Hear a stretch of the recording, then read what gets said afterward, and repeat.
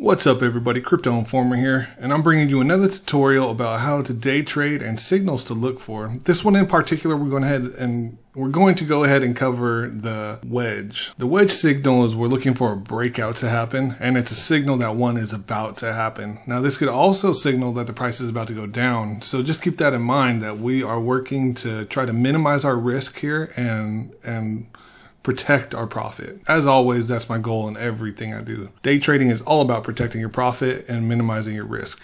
So let's go ahead and see what we found here. So as we can see right here, we have a wedge pattern forming. Let me go ahead and graph this out for you guys so you can see it. So we have a top here, and we'll go ahead and draw a line across the top.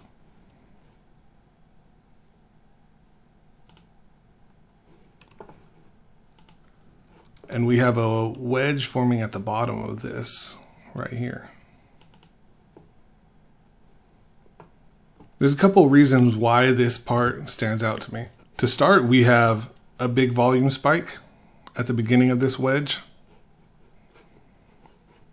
And then also right here, we have another big volume spike. Now you could say the wedge is a little more dramatic. You could move it here and create a larger wedge, but I would say no, because it's breaking out into a new price range right here away from this price range. It broke upwards. But it's up to you. Either way, we can see there's a wedge forming, right? The best way to find the bottom is to maybe get a little stricter with your wedge formation here and move it to the new consolidation area. So let's go ahead and look at what we want to do here. The way I handle this is I like to to scalp these positions with the safest possible method.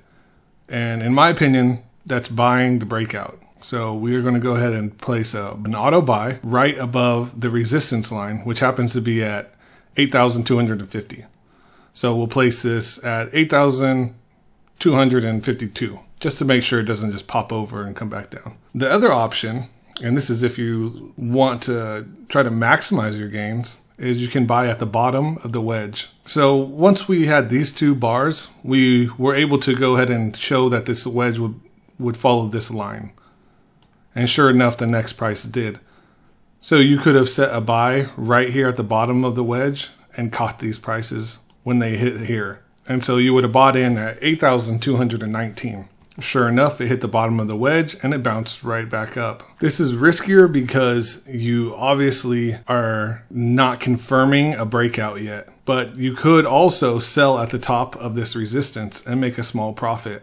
That's another option. Just remember that you want to place your stop somewhere in this area down here underneath the wedge because if it does come down under that wedge, it is most likely going to come down drastically. So what normally happens when you see these is that the market's telling you there's resistance at the top. The buyers, the bulls want to continuously try that top. The bears are afraid of the top and will sell downwards. The bulls will push it back up. The bears will sell it back down. And eventually one of these two will give.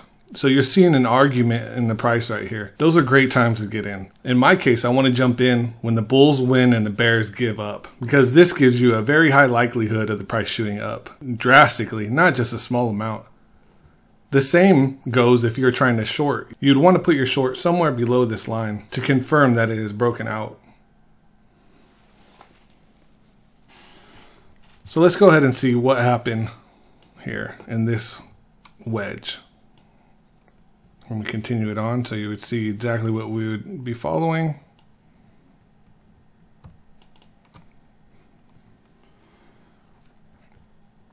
Sure enough, the price did break out of the wedge and it shot up drastically. And we're talking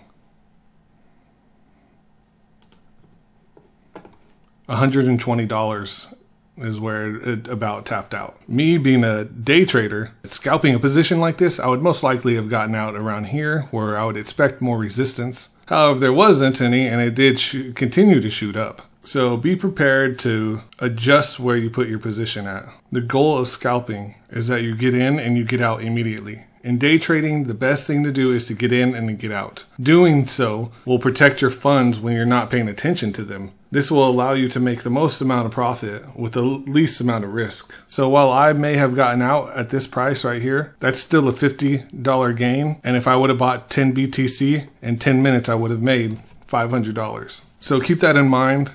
Sure, if I went all the way to the top, I would have made $1,200. My goal is always to minimize the risk. That pretty much does it for this tutorial. This is just a simple tutorial showing you guys how to handle the wedge. I don't want to throw too much at you guys because I want you to really understand what I'm talking about when I talk about each signal. If you have a request and you would like to see a video on something, please put it in the comments. You can also follow me on Instagram and direct message me there and I'll always answer right away. My handle on Instagram is Crypto Informer, just like my YouTube handle. I hope to be putting more videos out for you guys, describing different things, showing you guys how to make profit, how to make the most money in this market space, and covering the daily crypto news. Eventually, my plan is also to have a way to alert you of breaking news so you can get in on crypto right when it's about to pop. And that will give you the best chance of making huge returns in a very short amount of time when we see cryptos go up 30% in 20 minutes. That's all for now. See you guys next time.